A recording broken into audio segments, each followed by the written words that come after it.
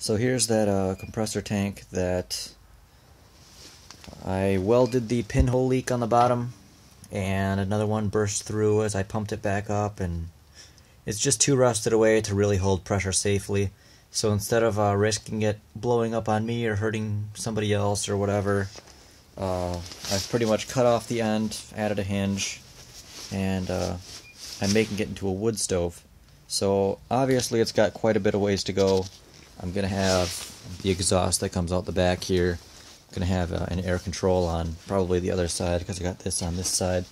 Uh, so basically it uh, closes like that. You can see there's a little notch out of here where this thing just slips into and holds shut. So this uh, piece right here, I'm gonna have to, I'm gonna actually make it come out straight and then curve up a little, because that way that would prevent uh, this front piece from kind of coming down any farther and hanging down too far, kind of like that where it wouldn't close straight. But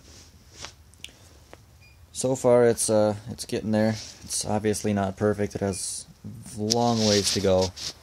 But at least this uh, tank is going to be used for something else other than just throwing it away.